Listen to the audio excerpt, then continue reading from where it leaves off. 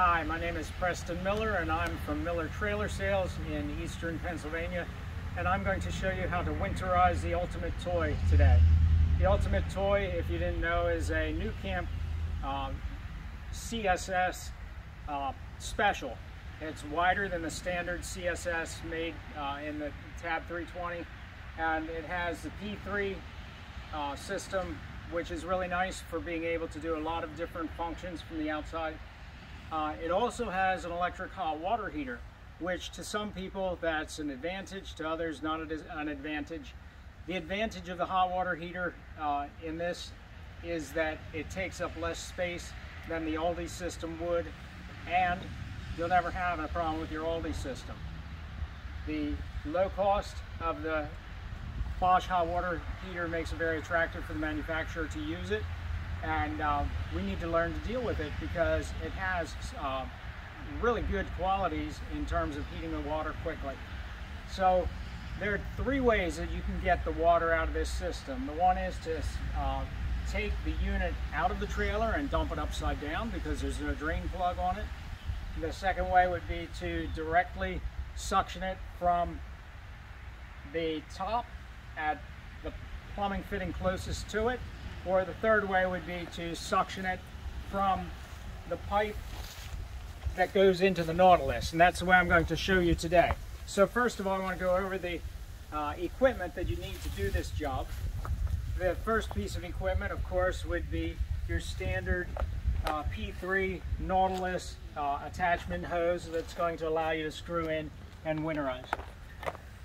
The special piece you need because of it having the hot water heater that's electric is this hose that I've made up with an adapter from Home Depot. It's a half by half MNPT elbow. Uh, because it's an elbow, it's easier to get in there with that. And then the third thing you're gonna need here is you need a siphon that's hooked up to an air compressor. Um, I have not been able to use a hand siphon to pull the water out of this tank. Um, the air siphon just does a much better job of getting that uh, down into a vacuum and, and evacuating it. The tank is supposed to hold 2.7 gallons. That last year when I winterized and this year the same, I can only get 2.3 gallons out of it, but I'm sure that that extra 0.5 gallons uh, hasn't damaged anything from not getting that little bit out that's at the end. So first thing I'm going to do is I'm going to drain my low point drains, which are right here on the rail, on the frame rail. Okay, once they all drain out, I close them. I'm sorry. When we drain them, we open them and we open the faucets both in the sink in the bathroom and the sink in the kitchen inside and we flush the toilet and we open the sink uh, here. You put them to the mid position between hot and cold and then after it all drains down then you do close your low point drains. Okay, so now I'm closing the low point drains. I drained out my gray tank because any water that was in the gray, I want to let it drain completely even while I'm starting to winterize.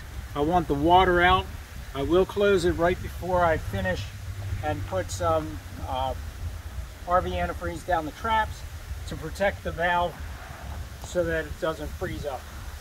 Okay, so the next step is, of course, get the hot water out of my Bosch hot water heater. I'm going to take this special hose that I made up. I'm going to disconnect the blue pipe that goes to the top of my hot water heater I'm going to disconnect it over here at the Nautilus system because that's easier than reaching up over top. Once I get it disconnected, I put this hose in place.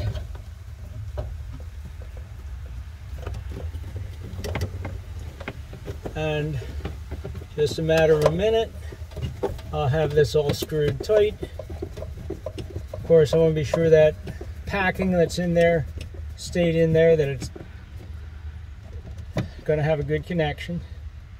Finger tight is all that's needed. Now I'm going to take this.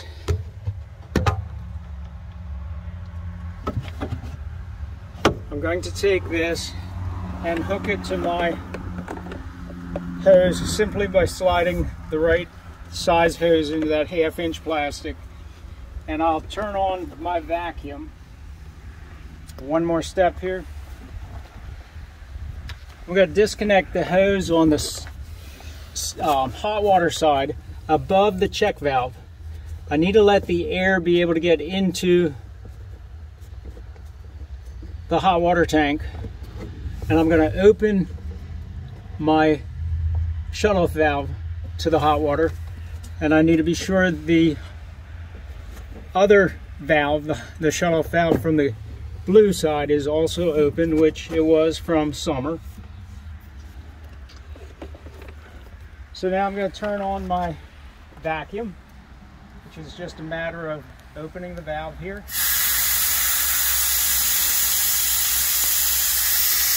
And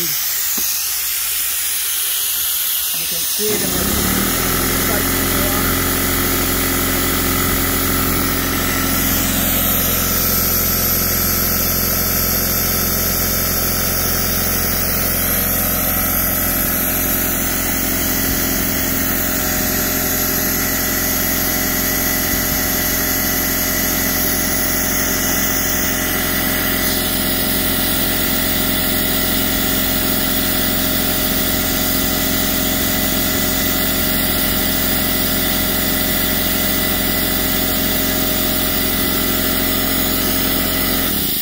Okay, so I'll check to be sure that I've got it completely drawn out later. For the purpose of this video, I'm going to say that we have it completely empty.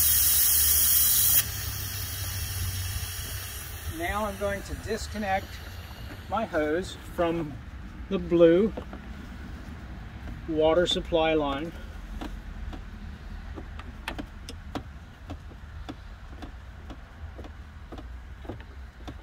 I'm going to reconnect it to my Nautilus. Make sure it's nice and firmly tightened. Okay, once I've got that tight, I'm going to go up and tighten the hose to my check valve. Okay, and then after I get that tight, I'm going to shut off my hot water